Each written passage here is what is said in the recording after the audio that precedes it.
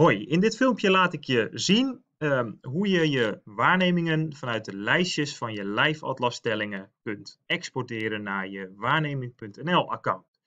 We hebben dit gemaakt omdat uh, het toch wel erg leuk is om de, de leuke soorten die je tijdens je Live Atlas-stellingen tegenkomt te kunnen exporteren op een eenvoudige manier naar waarneming.nl, je digitale opschrijfboekje. Dus geen dubbele administratie. Ik laat het je even stap voor stap zien vanaf de website van Live Atlas.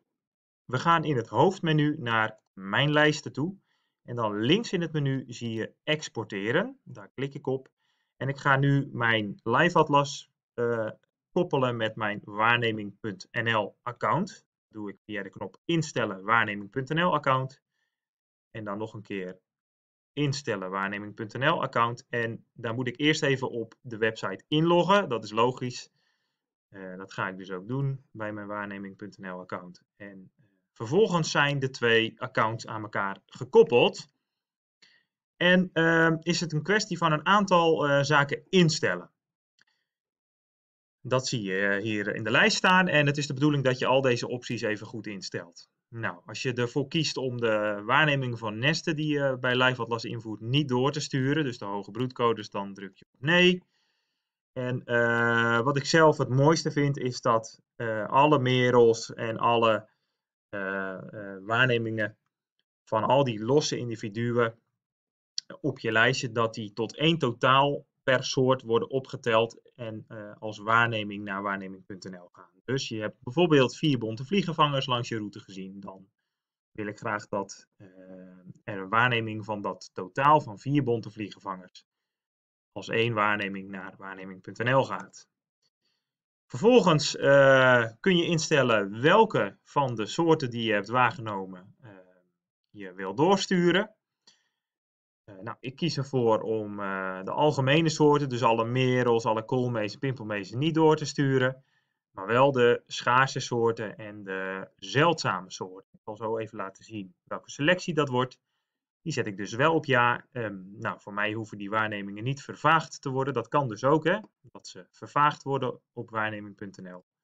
En ze hoeven wat mij betreft ook niet onder embargo van één jaar. Nou, deze instellingen sla ik op.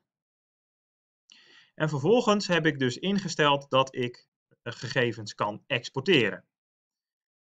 Um, je kunt dat ook automatisch doen. Dus dat betekent dat je vanuit uh, je Avimap dus op de app Avimap uh, heb je een lijstje ingevoerd dat zodra je dat uploadt, die gegevens volgens de instellingen ook automatisch naar je waarneming.nl account gaan.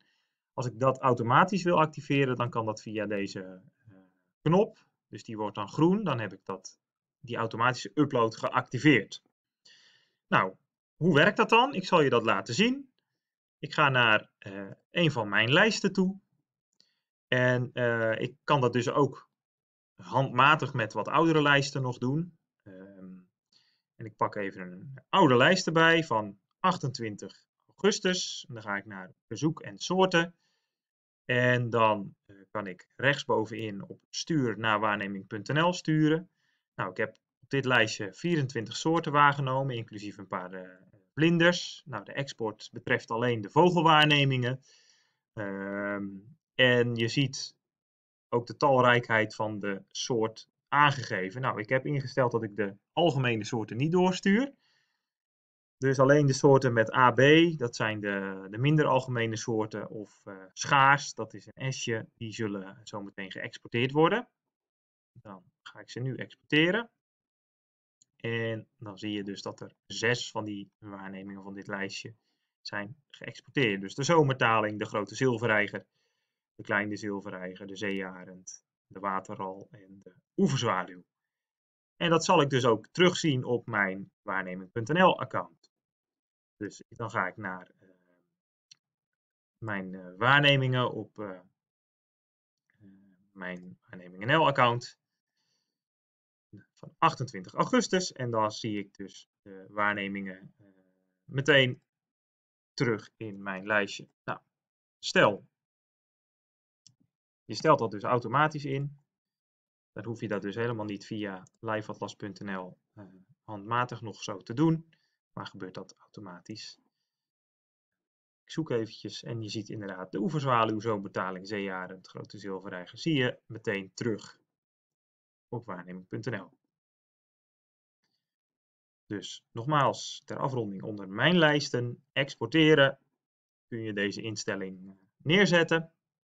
En heb je dat gefixt en hoef je dus niet dubbel te administreren. En bij deze procedure zul je zelf nog een, een schermpje tegenkomen waarbij je iets moet autoriseren, maar dat is een stap die nou, kun je gewoon meteen doorklikken. Dat kon ik je nu niet laten zien, maar uh, dat kom je vanzelf tegen en dat is nou, met een seconde ook gefixt.